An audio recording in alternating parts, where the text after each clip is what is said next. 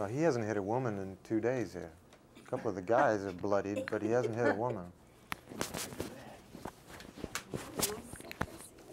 You know, you should see behind you. It's beautiful what they've given behind them. Beautiful lighting. Very nice pieces. I love all.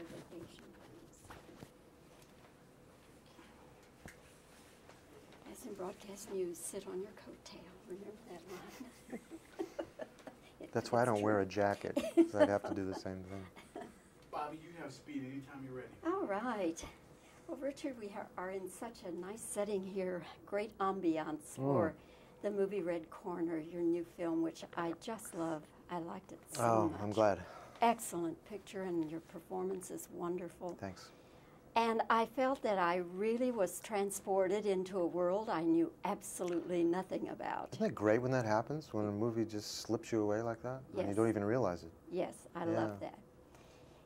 Was the movie or is the movie based on any particular case? No, no, not at all. No, it, it, there certainly are parallels to this. And there are, actually John and I were talking over lunch, there are a couple of ones that we know about that haven't made it into the newspapers. They were handled very quietly, taken care of, and, and disposed of without anyone knowing. But the person got out of China? High level stuff. Our government, their government? Yeah. But you don't I talk can't about talk about it. and it's, frankly, it's a shame. I, there's a lot of this stuff I can't talk about because people would be in danger. Because we're dealing with still a very repressive, very violent government. And uh, uh, many things to do with this film we cannot discuss because people would be in danger. Well, what about yourself, Richard? Uh, Now, you have tried to get back into China. You Hmm. cannot get a visa. No, it's been about four years that I have not been allowed in. So, obviously, you're on some list of the people they don't like. Yeah, the last time was in Hong Kong. I was trying to go through Hong Kong. And uh, the passport was given to the man. He took one look at it and passed it right back. He didn't even check. he just said, there's no way. Do you fear any reprisals? No, no, no, no, no, not at all. I know I'm being monitored by them. Um, you know, I, I'm a threat to them, uh, but I would be a threat to any totalitarian state because I speak. Repressive governments can only maintain power if they frighten people into silence, which is much of what this movie is about. Ling has a wonderful line late in the film. She says, I ask her why she's helping me at great risk to herself, and she says, I no longer wish to remain silent. And she's speaking for herself, or for her generation, for generations of, of Chinese who've had to remain silent, who were bloodily put down in Tiananmen Square. She speaks for all of them. Richard, when you go to be with the Dalai Lama and you say you go sometimes up to 10 times a year, Well, not 10 times, it's a long trip, so maybe f- four or five times would be the most. four or five times a year, But I see him other places in the world. You know, he's traveling constantly. what is the protocol when you're around him? What do you mean?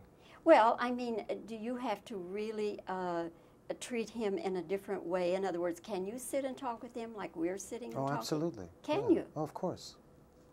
Of course. Now, this is. We're dealing with a person here who, who uh, is totally equipped, no matter what he's doing, in any situation with any person. Um, so this is absolutely a conversation that we could have and have had. Um there are other situations where I would treat him as a greatly revered teacher and I would defer to him in a different sort of way. There's another situation where I would, I would treat him as a Buddha, and I would uh, react to him in a different way. But to His Holiness, it doesn't matter. He's a very, as he said, a very simple monk. Is that how you address him, Your Holiness? Your Holiness, yeah. You would never call him by any other names like Dolly or none no, of that. no, no, no, no, no. But just that would be inaccurate. Yes. And what do you talk about? Well, depending on what's on my mind or what's on his mind, um, I would talk about some teachings that, that he had given. World affairs, political things? Absolutely, we have a, a political relationship, we have a cultural relationship, we have a student-teacher relationship. There's a wide range of, of things that we would discuss and do discuss. Yes. Well, Richard, again, Red Corner is a wonderful picture. I'm so happy to recommend it. Thanks. I'm really proud of it. I can tell you are, and um, I just uh, hope that it cr- creates the awareness that you would like to create with that film. Thanks. For the Chinese. for them, for the Chinese people. Thank Yeah. you so much. Thank you. Two days here. A couple of the guys are bloodied, but he hasn't hit a woman. Nice set dressing we have. You know, you should see behind you. It's beautiful what they've given behind them. Beautiful lighting. Very nice pieces too. I love all the Asian films. As in broadcast news, sit on your coattail. Remember that line? That's why I don't wear true. a jacket, 'cause I'd have to do the same thing. Bobbie, you have speed anytime you're ready. All right. Well, Richard, we are in such a nice setting here. Great ambiance Mm. for the movie Red Corner, your new film, which I just love. I liked it so oh, much. I'm glad. Excellent picture, and your performance is wonderful. Thanks. And I felt that I really was transported into a world I knew absolutely nothing about. Isn't that great when that happens? When a movie just slips you away like that? And you don't even realize it. Yes, I Yeah. love that. Eh, was the movie or is the movie based on any particular case? No, no, not at all. No, it, it, there certainly are parallels to this. And there are, actually, John and I were talking over lunch. There are a couple of ones that we know about that haven't made it into the newspapers. They were handled very quietly, taken care of, and, and disposed of without anyone knowing. But the person got out of China? High level stuff. Our government, their government? Yeah. But you don't I can't talk about it.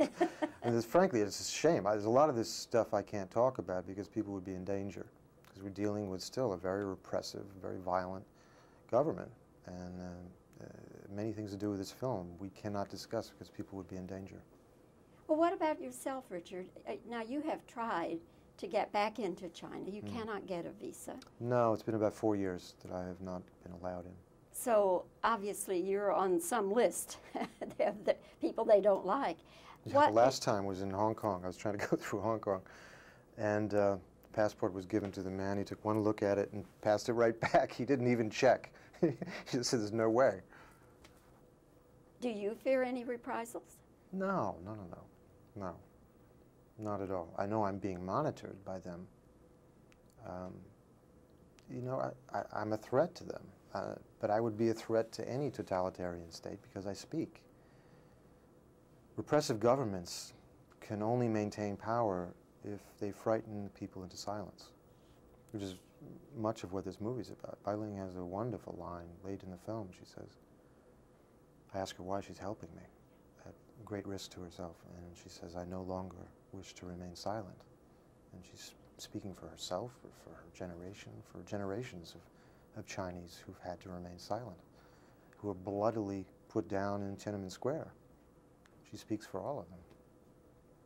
Richard, when you go to be with the Dalai Lama, and you say you go sometimes up to 10 times a year, Well, not 10 times, it's a long trip, so maybe four or five times would be the most. four or five times a year, But I see him other places in the world. You know, he's traveling constantly. what is the protocol when you're around him? What do you mean?